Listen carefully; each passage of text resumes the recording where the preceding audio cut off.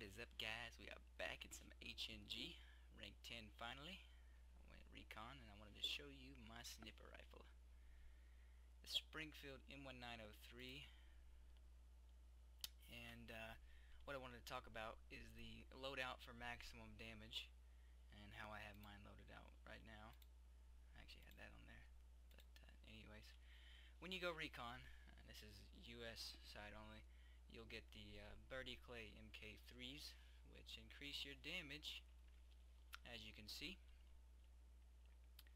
So we were using the uh, Match M72s as standard infantry with a sniper rifle, and you can see the significant difference right there.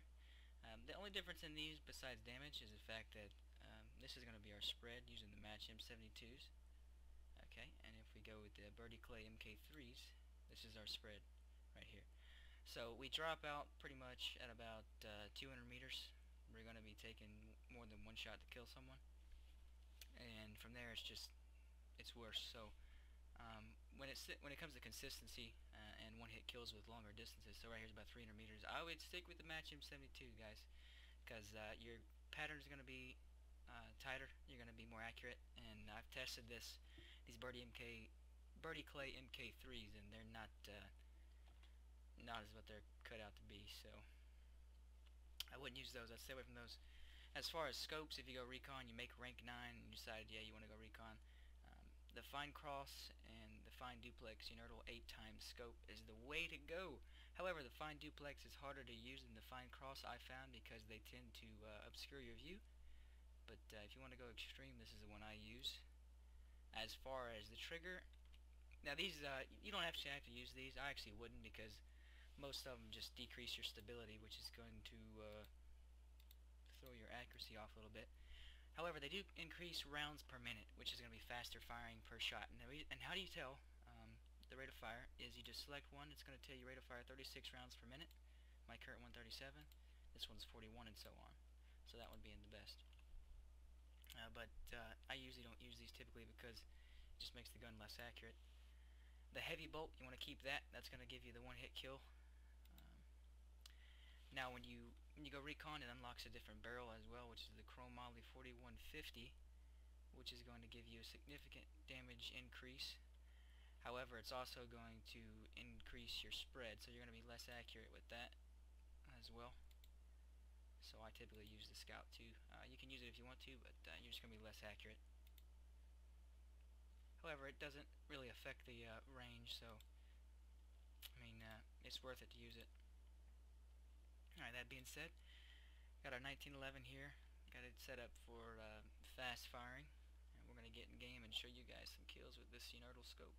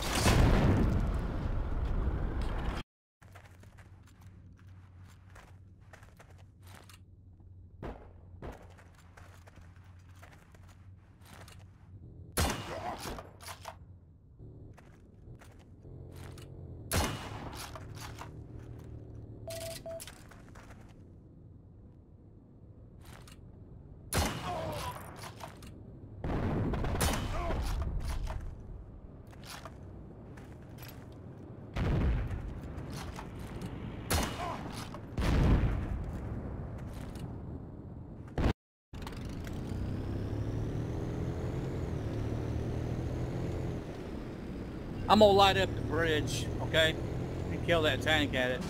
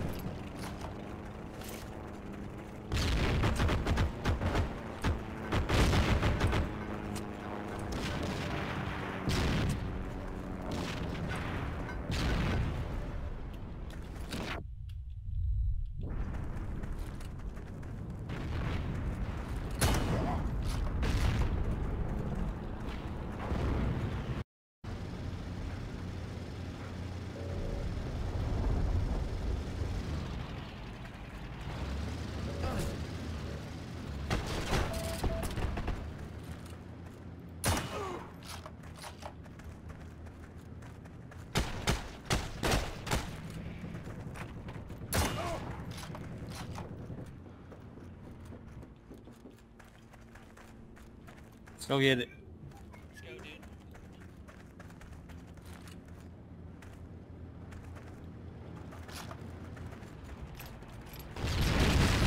Tank under the bridge, man. Right under the bridge right now. Now I'm waiting for four. Isn't that ridiculous? Yeah.